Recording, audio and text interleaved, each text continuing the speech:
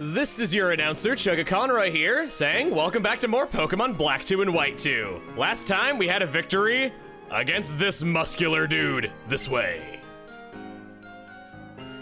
Now we learn the truth about the creation of the Unova region. We're here. Okay, come inside.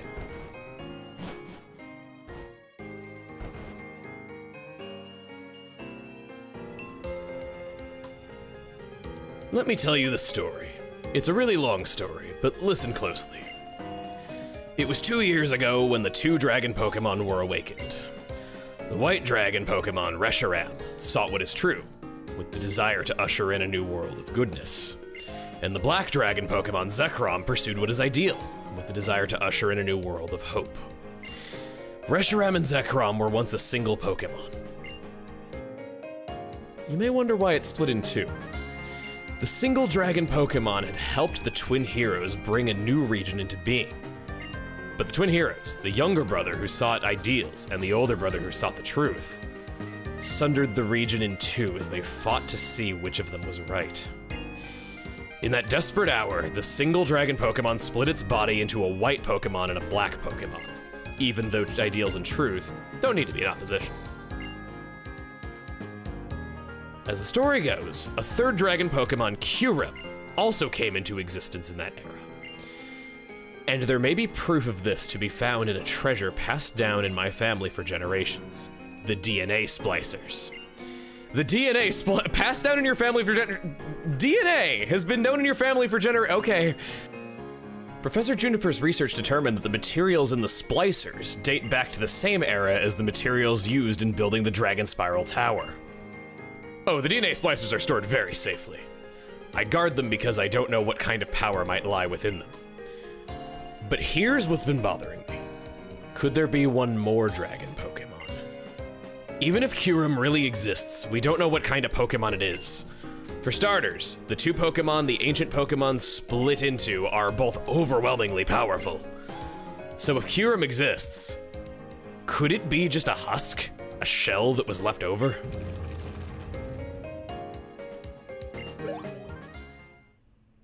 Hmm? What was that sound?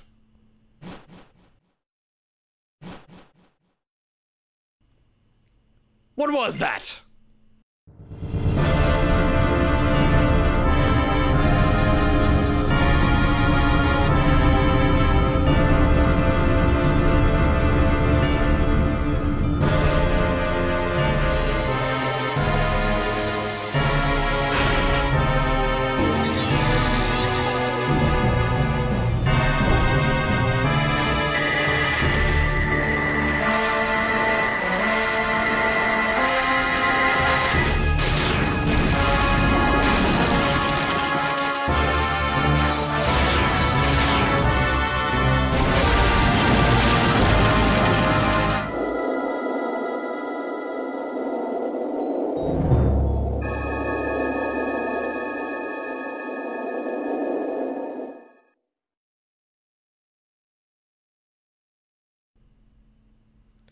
This world of ice. Haxorus, use Dragon Tail!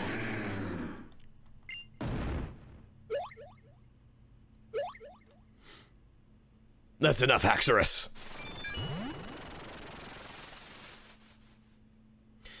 Not only did the ice stay unbroken, there's not even a scratch on it.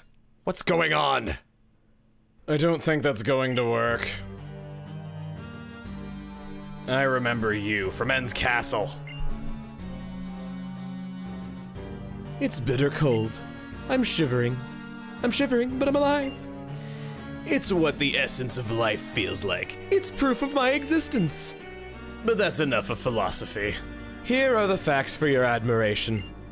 This ice was specially created by Team Plasma's technology. As long as we have our secret weapon, you'll never be able to melt or break this ice. Let me explain our purpose here. Drayden, hand over the DNA splicers. Opelucid City is a city where the past and the future are, intertwi- are entwined. Could there be a more perfect place for the splicers that connect the separated Pokemon? Do you think someone who knows what you did two years ago will just hand them over quietly? That's what I thought you'd say. At this point, I'd like to threaten you with another volley of ice, but we can't use it for a moment. Eh, it won't be enjoyable in this cold, but I guess we'll just search for them. Those foul villains! Blaze, I want you to help me. We're going to drive Team Plasma out of Opelucid City. Should we go back into Drayden's house?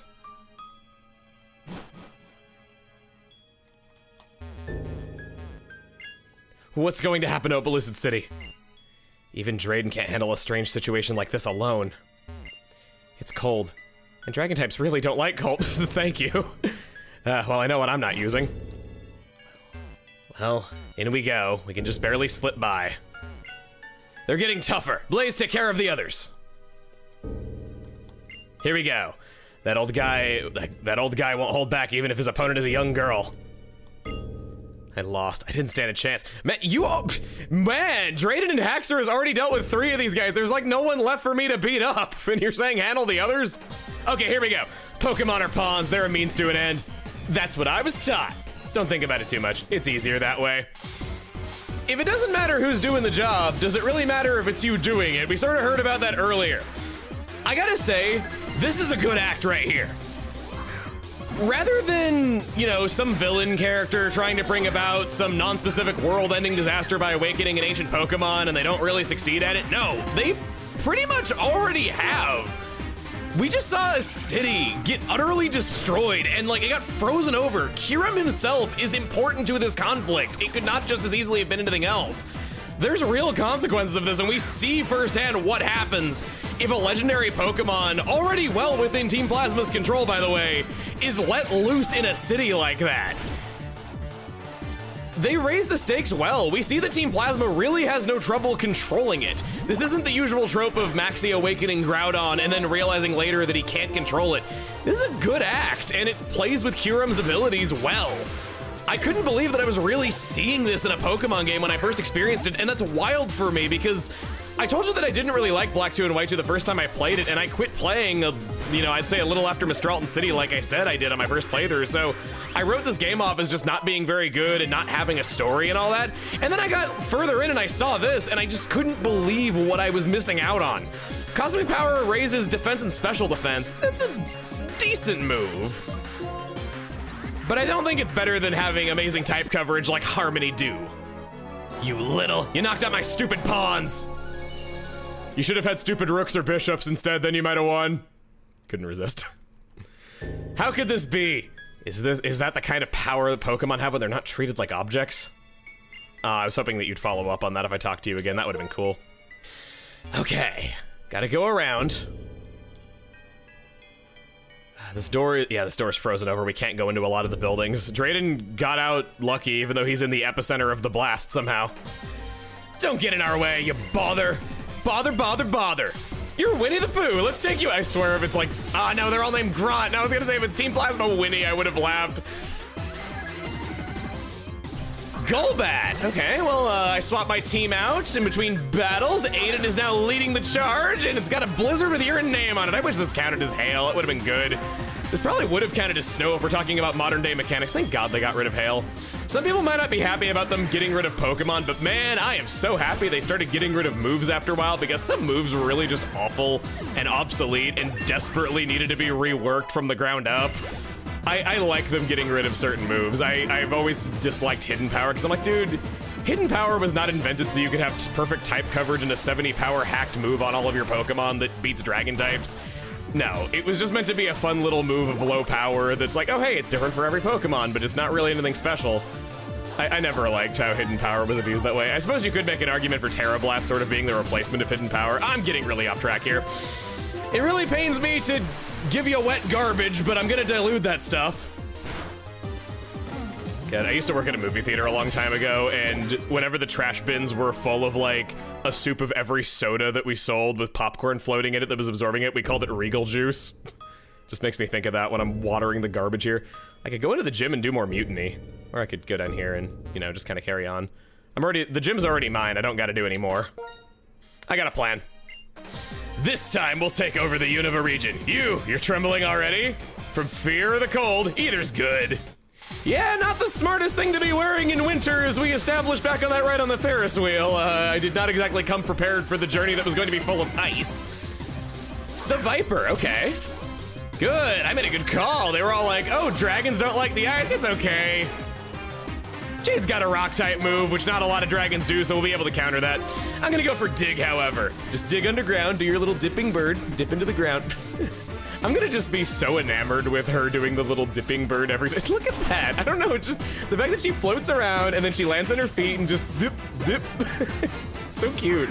I didn't think anything would get me more than um, than trap back when she was a trapinch and she did the, did the whole thing with her mouth all the time. It was so cute and derpy.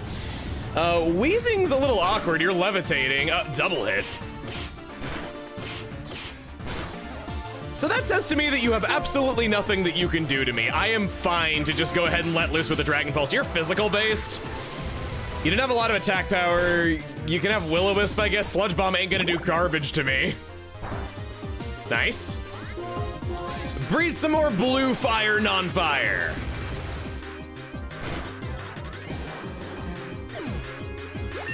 And there we go, level 47. Is this Dragon Claw?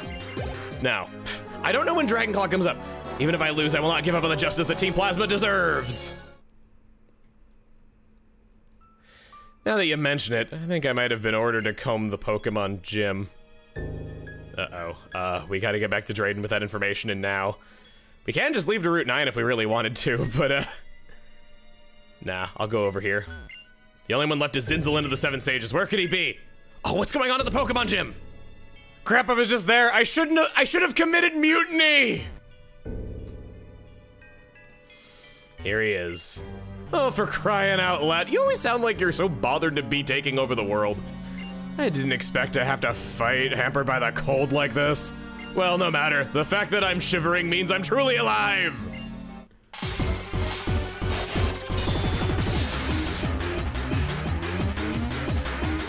I misremembered this. I thought this happened a lot later. Well, uh, okay. Zinzolin, apparently, is starting off his fight with Cryogonal. Ice type levitate for its ability with the moves Slash, Ice Beam, Confuse Ray, and Reflect. I might be a dragon type and you might be fast for a tank, but you don't got the prowess to stand up to this. Yeah. Okay, well, that's good news because your second Pokemon is also Cryogonal with all of the same moves, just with Light Screen instead of Reflect. It's okay. Just gotta connect three rock slides and you'll be able to and you'll be able to win the fight. Making a lot of comparisons to competitive Pokemon lately. And then your last Pokemon is Weavile, level 48. Dark Ice type and pressure for its ability. Its moves are Slash, Metal Claw, Night Slash, and Ice Shard. I frankly don't stand a chance surviving this thing. It's got a priority ice move. Flygon gets hit by that, it's freaking done. I'm at half health. We're switching to Pignati. Ice Shard. Not sure if that makes physical contact. I'm gonna say no. Yeah, I was right, no. Brick, brick. Oh, Slash makes physical contact. Nice. Soften yourself up for me a little bit. Weavile was such a necessary evolution for Sneasel to get. Sneasel was god-awful, especially in its debut, and man, that might be one of the most buff Pokemon ever if Gliscor was not already. Jade, getting another level. Have you gotten even stronger than you were in Lacunosa Town? How? Such a brief time. It's called leveling up. Look it up. You're a strong trainer. You definitely are adept at handling Pokemon. I believe I'll take my leave simply because I can't stand this cold. But imagine this. The Unova region completely covered in ice. To achieve that splendor, we'll do what it takes to obtain the DNA splicers.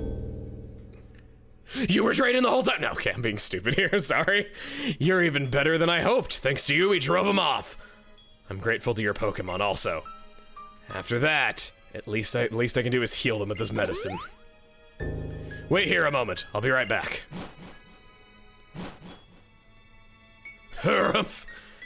That's a new record for making it there and back. Look, Blaze, these are the DNA splicers.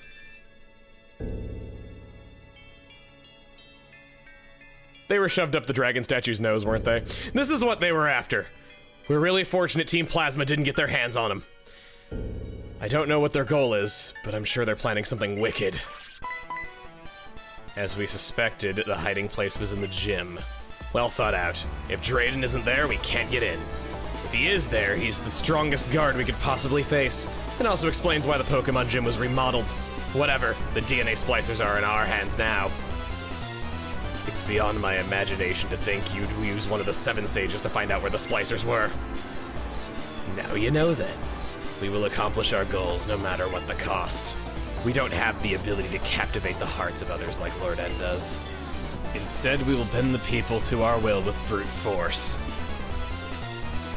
Two years was a surprisingly long wait.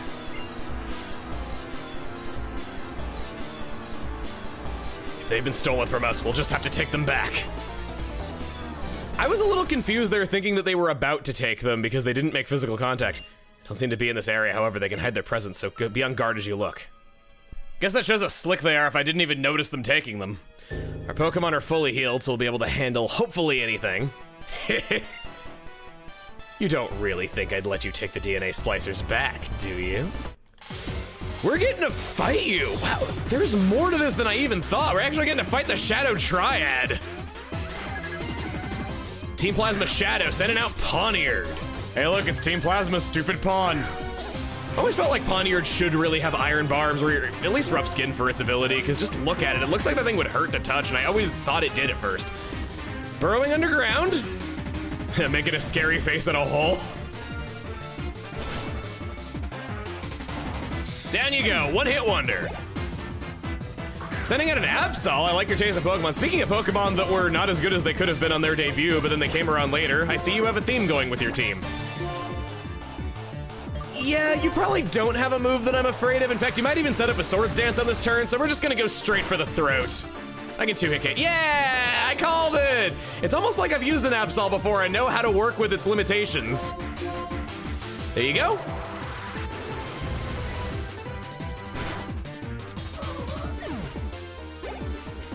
And one last Pokemon, another... Wait, you led with a Pawniard and you're finishing with a Pawniard? To each their own, everyone's got their own taste in Pokemon, and I applaud people that make unevolved Pokemon work in battle, especially with the clever use of the Eviolite and with, you know, certain moves that they can get access to that evolved Pokemon don't and all that. Um, Z moves in particular, making Eevee use it useful was one that I really like though, but man, I hate to admit it, but you're a good trainer.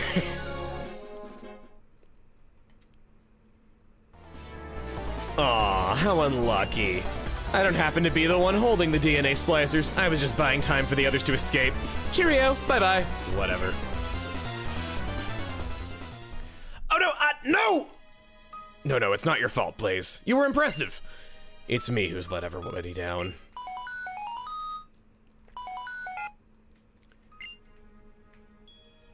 Blaze! A strange ship was flying toward Opelucid City, right? I saw it too. I'm en route. Cheren, that's Team Plasma's ship, isn't it? Yes, no doubt about it. Anyway, I'll be arriving in just a moment. Okay, I'll leave things to you.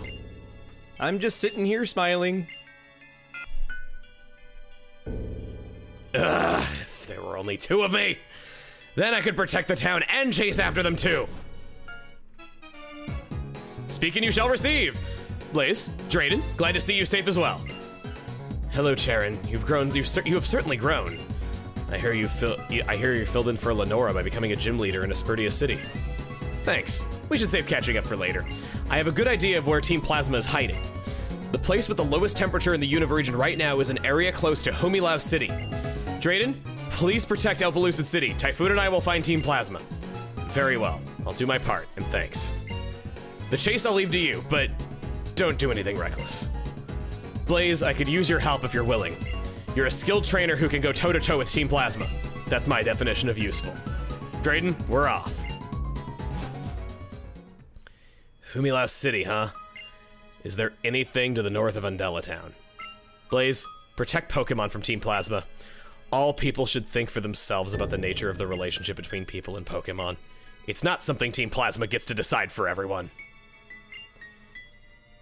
You don't say anything new, okay. I won't let you down. The journey continues. A trainer from Aspertia City challenged and successfully beat Drayden. The wow, uh, I wasn't expecting to get lauded on the news right now. I guess the story hasn't gotten out yet. If we go out into Route 11, yeah, the way is frozen. We can't get out without going through this grass. Bombing this city was all just a giant conspiracy to sell more repels.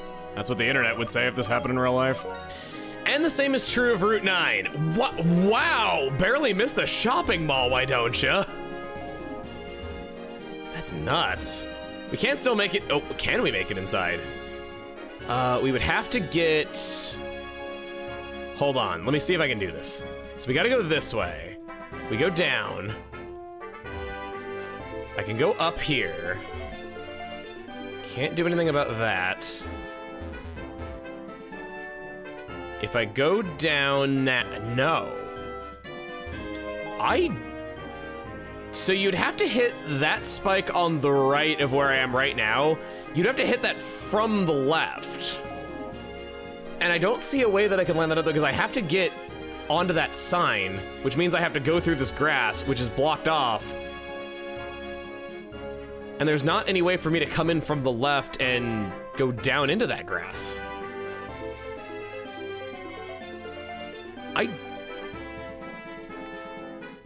Yeah, I don't think there's a way that you can get into Shopping Mall 9 now.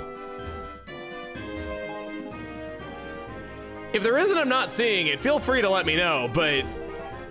That's it for Opelucid City, though. I think we've earned a little rest. Next time on Pokemon Black 2 and White 2, we head back to Undella Town as Drayden told us, and try to find the way to where Team Plasma's hiding. See you guys then.